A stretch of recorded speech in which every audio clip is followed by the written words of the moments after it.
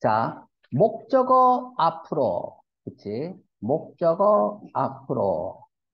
보였어요? 정리하겠습니다. was, was, 동명사, 목적어 앞으로. 1번, 2번은 뭐였어요? 사물 주어. 사물 주어, 반드시 사물 주어야 돼요. need, need, 동명사, 목적어 앞으로. 그래서 사물 주어 자리로 가는 거죠. 그죠? 3번이 뭐였어요? 난이 형용사. 보통 이거죠. it is. 다음에 난이 형용사. 그죠? 투부정사에서 목적어 앞으로. 그래서 요 it 자리에 대체가 되는 거죠. 그쵸? 만약에 이제 전치사의 목적어라면 전치사의 목적어 앞으로. 그래서 얘가 자동사인 경우에는 반드시 전치사가 붙어야 된다. 네 번째가 뭐였어요? 명사, to부정사. 아, 미안해. to부정사 다음에 목적어 앞으로였잖아. 4번에 대해서 조금 더 할게요. 알았죠? 저는 이제 4번에 대해서 뭐라고 얘기하냐면 명사, to부정사 해서 to부정사가 명사를 꾸며줄 때에는 관계가 성립된다. 무슨 관계? 첫째, 주어 관계 쓰세요. 두 번째, 이 명사와 동사 사이에서 주어 관계가 성립되는 거야. 즉, 명사 to부정사에서 얘가 주어고 얘가 동사인 관계가 성립되는 거야. 두 번째는 목적어 관계. 명사, to 부정사에서 이게 목적어야. 원래 여기 있는 자리죠. 그죠? 그래서 이 동사와 명사가 목적어 관계다. 동사의 목적어다. 이 명사가. 세 번째는 전치사의 목적어 관계. 여기서는 이제 2번은 이제 여기 타동사의 목적어 관계 이렇게 써도 돼요. 전치사의 목적어 관계는 뭐냐면 명사, to, 부정사 다음에 전치사 다음에 목적어가 있는데 이 목적어가 그치? 이 명사가 전치사의 목적어 자리다. 그치? 이렇게 되는 거죠. 그래서 전치사 다음에 목, 전치사의 목적어가 없는 거고 타동사 다음에 타동사의 목적어가 없는 거다. 그렇죠? 이 세 가지 관계가 성립이 돼요. 언제? 명, 소부정사가 명사를 꾸며줄 때 명사를 꾸며주는 게 형용사잖아요. 그래서 한국 문법에서는 수부정사의 명사적 용법이라고 아 미안해 성용 성용사적 용법이라고 해서 이제 문법을 배우게 됩니다. 그죠? 근데 뭐 토부정사의 형용사적 용법 그런 다 필요 없고요. 소부정사가 명사를 꾸며줄 때 세 가지 관계가 성립이 된다는 얘기야. 1번, 2번, 3번. 주어 관계, 목적어 관계, 전치사의 목적어 관계. 그쵸? 그 시험 문제 잘 나오는 건 3번이에요. 3번. 그래서 이게 어쩌면은 문법 중에서 고등학생이 풀어내기에는 어, 굉장히 난이도가 높은 문법에 속한다. 그리고 우리가 라이팅을 할 때도 주, 로 틀리는 부분이다. 어, 먼저 주어 관계부터 볼게요. 주어 관계는 우리 전에 설명을 했어요. 그렇죠? I need a friend. 나는 친구가 필요하다. 그가 can help me. 나를 도울 수 있다. 보통 이제 can을 씁니다. 그래서 아, 이제 한국 문법을 배운 아, 아이들은 토부정사의 형용사적 영법일 때 토부정사는 뭐뭐 할 수 있는 이렇게 해석되는 경우가 많아요. 왜? can이 있기 때문에 그래요. 자, 볼게요. 그럼 여기 저, 대명사가 있으니까 후로 쓸수 있죠. 그러면서 두 문장으로 쓸수 있습니다. I need a friend. 다음에 who can help me. 이렇게 쓸수 있겠죠. 그런데 접속사가 없어져요. 그럼 뭐도 없어져야 돼. 동사도 없어져야겠죠. 근데 동사가 없어져야 되는데 조동사가 없어지면서 바뀌는 게 to help me 이렇게 되죠. 다 써볼게요. I need a friend. 그렇죠? 그러면 여기 명사가 있죠. 그런데 to부정사 다음에 목적어 썼죠. 그러면 얘가 주어고 얘가 동사고 얘가 명사라는 얘기야. 나는 친구가 필요하다. 그 친구가 나를 도울 수 있다. 바로 들어가야 돼. 이게 뭐야? to 부정사와 앞에 있는 명사가 주어 관계를 가지고 있다는 얘기야. 됐죠? 이 동사의 a friend가 주어잖아요. 그래서 첫째, 주어 관계는 이거다. 됐죠? 나는 친구, 나는 친구를 필요로 해요. 그 친구가 나를 도울 수 있어요. 음, 선생님이 해석할 때 이렇게 해석하는 경우가 많단 말이야. 그런데 한국에서는 이렇게 해석하죠. 나를 도울 수 있는 친구가 필요하다. 그렇죠? 명사를 꾸며주니까 토부정사의 성용사적 용법 이렇게 해서 이제 한국 문법은 그렇게 배우는 거예요. 이제 주어 관계. 이 주어 관계는 시험 문제 낼 게 없어요. 근데 우리가 해석할 때 그냥 제대로 해주면 돼요. 그러니까 나를 도울 수 있는 친구가 필요하다 그래도 되지만 우리가 보통은 토프를 하잖아요. 문장이 길어요. 그죠? 문장이 길어서 바로 이렇게 들어가는 거예요. 나는 필요하다. 친구가 친구가 도울 수 있다. 나를. 왜? 뒤에 목적어가 있잖아. me라는. 그죠? me라는 목적어가 있으니까 주어 동사 관계일 가능성이 높아요. 명사와 to부정사는. 그런데 이게 말이 안 되면은 이게 만약에 말이 안 되면 여기서 문장이 끝난 거예요. 예를 들어서 어 나는 샀다. 나는 나는 어 샀다. 어 컴퓨터를 샀다. to do homework. 나는 샀다 컴퓨터가 컴퓨터가 할 수 있다 숙제를 말이 안 되잖아요. 컴퓨터가 어떻게 숙제해요? 컴퓨터 여러분들 사면 컴퓨터가 알아서 숙제해 주는 거 아니잖아요. 말이 안 되죠. 그러면 이때는 여기서 문장이 끝난 거야. 뭐 하기 위해서. 보통 이제 목적으로 대부분 쓰이죠. 아닌 경우도 많지만 그런 경우는 또 하나하나씩 배워가면 되고 자 문제는 이제 2번, 3번입니다. 우리가 목적어 앞으로 해서 많이 했어요. 그죠? 그러면 내가 2번, 3번을 동시에 설명을 해볼게요. 동시에 설명을 해볼게요. 자, 뭐 속호가 들어왔네. 어, 웬일로 속호가 들어왔어? 그치?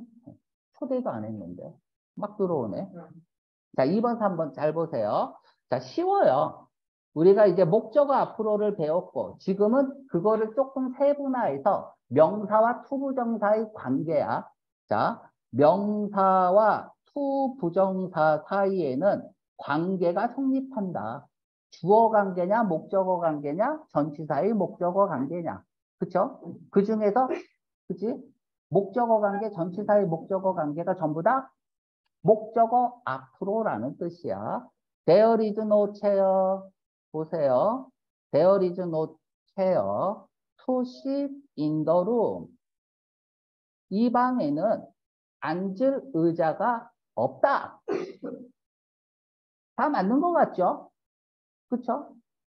맞죠? 이렇게 생각해도 돼요. 앉을 의자, 명사를 꾸며주니까 형용사적 용법이네. 뭐 이렇게 해서 한국식으로 해도 되고요.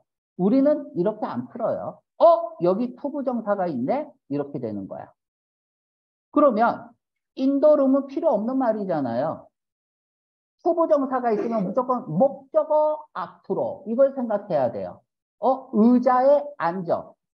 앞에 있는 명사를 무조건 뒤로 빼서 말이 되는지 보라고. 의자에 앉아. 말 되죠? 그럼 무조건 목적어 앞으로야. 알았죠? 그래서 여기 sit 다음에 on in the room이라고 해야 돼요. 왜 그러냐? 자, 보세요. There is no chair가 있죠. 이런 문장이 있고요. I can sit on it. 그것에 앉을 수 있다. 그럼 얘가 뭐예요? 시승 자동차니까 온 쓰고 인. 의자 위에 앉잖아요. 그죠? 그래서 얘가 휘치가 되죠. 얘가 받는 게 얘니까 얘 뒤로 그대로 가면 돼요. 네, 지금 이렇게 설명하는 거는 지금 중학생도 이 수업을 듣고 있기 때문에 조금 자세히 하고 있습니다. I can sit on이 되죠. 그런데 접속사가 지워져요. 그럼 모두 지워져야 돼. 조동사가 지워지면서 to 부정사로 바뀌는 거예요. 그럼 어떻게 돼? There is no chair. 그쵸? to sit, to 부정사로 바뀌니까 to sit on까지 있잖아요. on. in the room. 얘는 이제 속이기 위해서 쓰는 거고 in the room. 필요 없는 말이잖아요. 전명구는. 그죠? 그러니까 반드시 on이 있어야 되는 거야. 이걸 다 생각하고 풀 수 없잖아. 그러니까 무조건 이제부터는 토부정사만 보면 목적어 앞으로 생각하세요. 자, 그러면 내가 재밌는 거 한번 정리를 해줄게요. 자, I have a letter. 나는 편지를 가지고 있다. 써야 할 편지를 가지고 있다. 한국에서는 중학교 2학년 때 이거 다 가르쳐 주는 거예요. I have a 펜을 가지고 있다. 쓸 펜을 가지고 있다. I have 명, 다음에 뭐라고? on article. 됐죠? 기사를 가지고 있다. 쓸 기사를 가지고 있다. 이렇게 썼어요. 여기에 밑줄이 꺼져 있습니다. 여기에 밑줄이 꺼져 있습니다. 여기에 밑줄이 꺼져 있습니다. 뭐 하나 더 할까요? I have some ink, ink to write. 쓸 잉크를 가지고 있다. 여기 밑줄이 꺼져 있어요. 1번, 2번, 3번, 4번. 이 중에서 맞는 걸 고르세요. 어? 다 맞는 것 같은데 맞는 건 하나뿐이 없어요. 1번이 맞습니다. 자, 보세요. 쓸, 봐봐. 쓸 편지, 쓸 펜, 쓸 기사, 쓸 잉크. 다 명사를 꾸며주네요. 그럼 형용사적 용법이라고 해. 알았죠? 한국 문법은 이렇게 가르쳐줘요. 형용사적 용법이라고 하고요. 나는 뭐라 그래? 후부정사가 명사를 수식할 땐 반드시 관계가 성립된다. 첫째, 주어 관계, 둘째, 목적어 관계, 셋째, 전치사의 목적어 관계. 아무 생각하지 말고 후 부정사면 앞에 있는 명사를 뒤로 빼보세요. 편지를 쓰다 말이 돼요? 말이 되죠? 그러면 뭐야? 목적어 앞으로 얘는 타동사고요. 타동사고 얘가 앞으로 나간 거예요. 얘 맞는 거예요. 이게 맞는 거예요. 그쵸? 전, 전에 목적 앞으로 할 때 이거랑 똑같은 거야. 이거랑 it is dangerous. 아, 미안해. The water is dangerous to drink. 얘 타동사잖아. 그죠? 뭘 마셔? 물을 마셔. 말 되죠? 그럼 to drink 맞는 거야. 목적어 앞으로니까 목적어가 없는 거예요. 그래서 1번이 정답입니다. 그럼 2, 3, 4번은 다 틀렸어요. 한번 해볼게요. 어, 펜. 펜을 뒤로 빼요. 펜을 써요? 그쵸? 근데 우리는 의심을 하라고요. 후부정사가 있으면 혹시 목적어 앞으로는 아닌지 의심을 해. 펜과 함께 쓴다. 말 돼요? 안 돼요? 막 펜으로 쓴다. 말 돼요? 안 돼요? 펜을 가지고 쓰는 거잖아. 펜으로 쓴다. 말 되죠? 뒤에 있는 명사를 가지고 와서 목적어 취급 또는 전치사의 목적어 취급을 하는 거야. 그래서 말이 되면 목적어 앞으로야. 펜으로 쓴다. 말 되잖아. 그럼 목적어 앞으로야. 그럼 펜으로 쓴다 그러면 여기 위도 있어야 될 거 아니야. 펜을 쓰는 건 아니잖아. 그럼 위도 있어야죠. 자, 아티클 갑니다. 아티클. 아티클을 쓴다. 말이 돼요? 아티클에 대해서 쓰는 거죠. 그럼 여기 뭐 해야 돼? about을 써야죠. 어떤 기사에 대해서 글을 쓰는 거잖아요. 그렇죠? some, 잉크를 써요? 잉크로 쓰는 거죠. 그래서 뭐 in 같은 거를 써주면 좋을 것 같아요. 됐죠? 그러면 말이 된단 말이야. 뒤로 빼서. 그럼 이때 write는 전부 다 자동사로 쓰인 거예요. 2번, 3번, 4번에 쓰인 write는 자동사로 쓰인 거란 말이야. 자, 어떻게 됐는지 2번만 갖고 갈게요.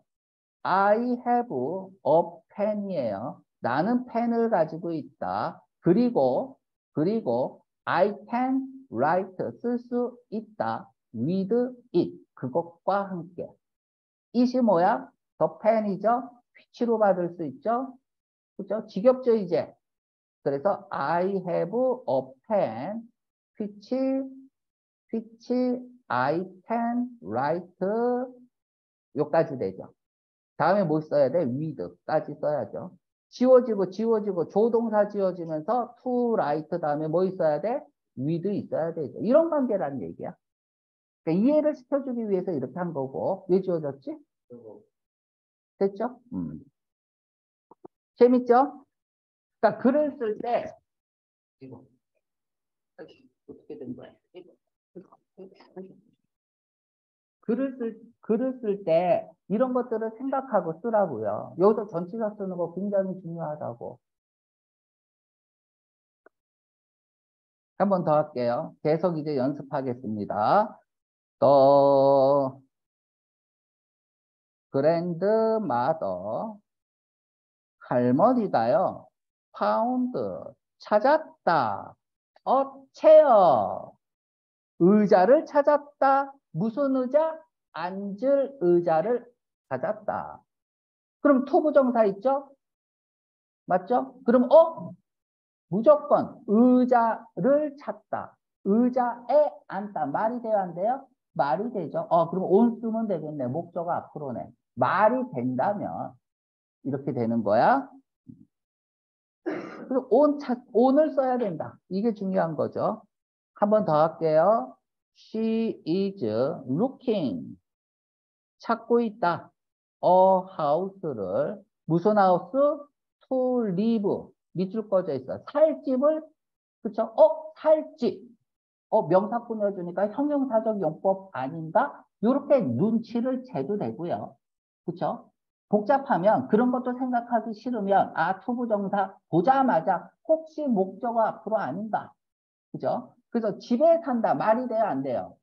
앞에 있는 명사를 집어넣어봐. 집에 산다 말이 되죠? 그러면 목적어 앞으로야. 근데 얘는 자동사니까 in을 쓰는 거죠. live in을 써야 맞습니다. 됐죠? 자, 그럼 시험 문제 수능 기출이에요. 탐은 needs 필요하다. 어 토이가 필요하다. to play 수능 기출이죠. 이렇게 밑줄 꺼져 있었어요. 놀 장난감이 필요하다. 말은 돼요. 하지만 머릿속에 to부정사만 보면 목적어 앞으로야. 이제부터는. 혹시 목적어 앞으로 아닌가? 장난감과 논다 말이 돼야 안 돼요? 되죠. 장난감을 가지고 노는 거니까 말이 되잖아. 장난감을 놀다는 아니잖아. 근데 장난감과 놀다는 되잖아. 그럼 여기 with 쓰면은 말이 되죠. 그럼 여기 반드시 with가 들어가야 돼요. 됐습니까? 음. 한 번 더 갈게요. 한 번 더 가겠습니다. 음. I am looking for 찾고 있다. A friend 친구를 찾고 있다. To live 말이 안 되죠. 살 친구를 가지고 있다. 일단 말은 안 되는 것 같고요. 되든 안 되든 친구와 산다. 말이 돼요? 안 돼요? 뒤로 뺐을 때. 말이 되죠? 그럼 목적어 앞으로야. 얘는 자동사니까 with 써야겠죠. 됐죠? 음. 됐죠? 어. 그럼 요 정도면은 될 것 같아요. 그래서 우리가 문법을 배울 때 이제 우리 저기 뭐 문법 special 강의 유튜브에 들어가면은 명사 to부정사와의 관계해서 간단하게 또 설명한 것도 있는데 지금 이제 쭉 풀어서 설명을 한 거야. 그래서 to부정사를 쓸 때 어떻게 쓸 건지 이걸 알아야지 복귀할 때 토부정사를 쓸 거 아니에요. 그죠? 음. 요 정도로 하겠습니다. 질문 있나요? 질문? 없어요? 어. 자, 그럼 한 번만 더 할게. I need a book. 나는 책이 필요하다. To read. 읽을 책이 필요하다. To be read. 정답 뭐예요? 그죠? 어, 책이 읽혀지니까 이거 써야지. 이러면 안 된다고. 왜? 후부정사 혹시 목적어 앞으로 아닌가? 여기 명사가 앞으로 가서 책을 읽다 말이 되죠? 그러면 목적어 앞으로 해요. 그래서 위에 게 정답입니다. to be read는 말이 안 돼요. 왜 그럴까요? 나는 필요하다. 어, 책이 필요하다. I can 읽을 수 있다.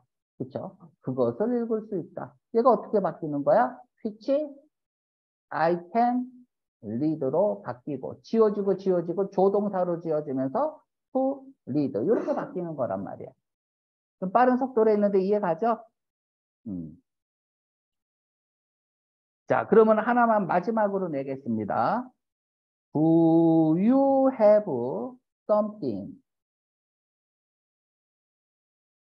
hold. 띵으로 끝나면 형용사가 뒤에서 꾸며진단 말이야. 마실 차가운 것이 있나요? to drink. 맞아요? 틀려요? 맞죠? 뭔가를 마시다. 말 되잖아요. 그럼 얘는 타동사고 목적어 앞으로 간 거예요. 자, 요 정도 하면 이제 지겹게 한 거야. 알았죠? 음, 꼭 기억하세요.